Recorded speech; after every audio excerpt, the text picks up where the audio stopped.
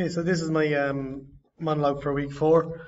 It's kind of picking up where we left off in the last week, looking at um, just my initial idea of turning the desk into an area for growing fruits and vegetables and composting.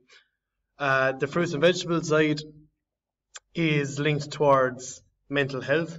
So kind of getting people start eating healthy, healthy lifestyle, getting outside, growing their own produce, and uh, just kind of working from the start. And then the recycling part is coming, the composting part is coming into the coming into the environmental aspect of reducing food waste. So giving it a second life to use as fertilizer for your fruits and vegetables.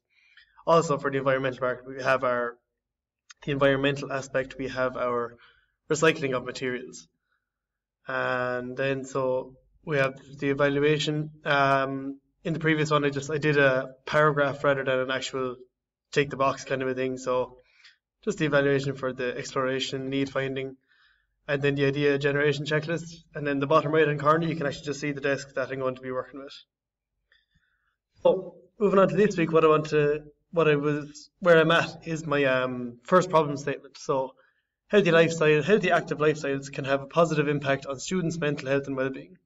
Design and realize a sustainable artifact from recycled material to aid in food production and waste treatment amongst secondary school students.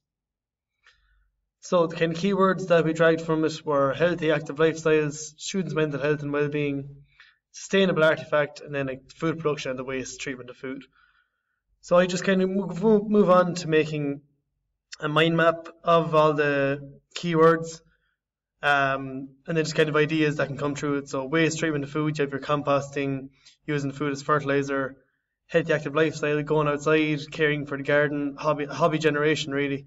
Because just an active mind, active body, active mind. Uh, students' mental health and well-being, so eating eating healthy food rather than sweets and snacks, kind of goes towards your brain food and a positive mindset. Then sustainability of your upcycling, adding value, sustainable development goals, which I spoke about in my previous monologue, and then food production, so growing your produce. Then we just go on to our keywords, which is basically what's associated in the mind map. Then just analysis of the of the problem. So what do I still need to figure out? So the footprint still has to be 450 by 450. So I need to figure out a way to make my steel frame to fit into this carbon in, into this footprint so then that I can actually move up and out rather than just have a wide base. Then the requirements of the problem are to promote healthy living and positive mindsets among students, be sustainable, aid food, aid production of healthy food, and have a designated area for the treatment of waste food. Um, this is literally only the first draft problem statement that I've come to this week. Um, it's going to change. I know it's going to change. It's, it's going to change for the better, hopefully. Then you go on to this is still the analysis. So who's my main user? Maybe second level students. Uh, as I just researched online, just um, mental health in secondary school students, and I figure out that a third of students are experiencing extremely severe levels of anxiety and have a formal diagnosis of mental health difficulty at some point in their lives. There's a report carried out by the Union of Students of Ireland. Um, then just kind of key questions that that he needed going forward. So is the unit going to be only targeted for schools or can it be for home life also? Uh, what segments are going to be made using the recycled materials? So because we have a ratio of 80-20, um, I'm thinking of, for later on in my developed ideas, having the top of it detachable. So using laminates to make handles for the top to be detachable to be port- portable around. Then uh, what jointing manufacturing methods are going to be used? So uh, I'm thinking of recycling bottles maybe to join certain aspects and just heating the plastic of the bottle to fuse bond them together. Just because there's no real there's no real um, area of the brief saying that we have to use wooden wooden joints. Then uh, can other recycled materials be used to line the inside of the unit? So I was thinking of using um, this goes on. This is in my research. I'll explain later. Just thinking of using cartons to line the inside. The main function of the unit is to allow students in school who may be suffering with poor mental health and well-being a chance to try find a new passion or hobby. Give them a chance to go outside, look after plants that they are growing. If a student wants to grow vegetables for consumption, promoting healthy eating and a positive attitude towards eating clean, eating clean, and growing your own fruit and veg. Um, yeah, so it's literally just trying to promote this clean, clean lifestyle, so a healthy, act, healthy, active mind, uh, targeting secondary school students with mental health, and you can just see that from my design idea. So each quarter are for a different area of growing. The basis for compost, everything's made from recycled material. Then just in the bottom left hand corner, you can see my evaluation. So just the last part is research. So I looked up some similar existing products. So I just found a flower pot that was made out of an old school desk. Um, looks pretty nice, polished up well. And then just next to it is a vegetable box, a raised platform vegetable box.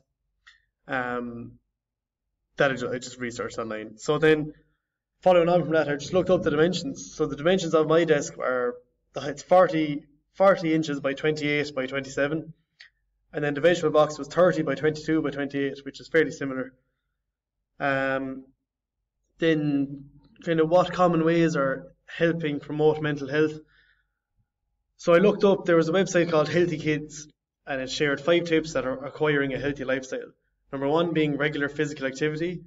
Two was choosing water as drink rather than fizzy drinks. Three, linking to my project, eating more fruit and vegetables.